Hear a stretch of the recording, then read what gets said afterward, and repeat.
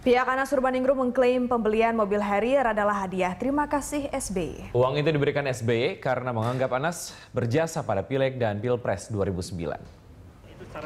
Anas yang baru selesai diperiksa Jumat malam sempat mengatakan adanya pihak-pihak yang menjadi pemberi dana fiktif. Dalam pengakuannya, Anas juga menantang KPK untuk menelusuri adanya atau, atau adakah dana Bank Senturi yang masuk dalam sumbangan tersebut.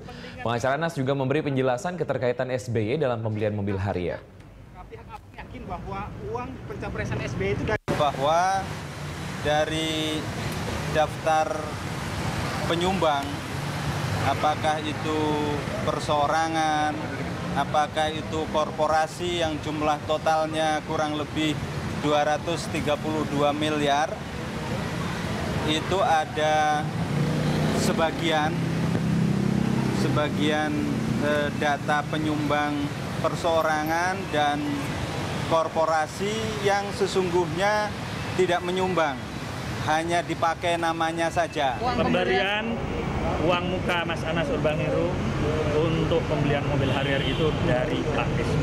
Nah, menurut klien Anda itu Harrier dikasih SD tahun berapa, Mas? Bang, ya? Menurut klien Anda Harrier Ya sesuai dengan uh -huh. uh, fakta pemberian yang sudah disampaikan pada KPK. Uh -huh. Ya. Harrier itu diberikan? Ya, sebagai hadiah terima kasih Siapa ya.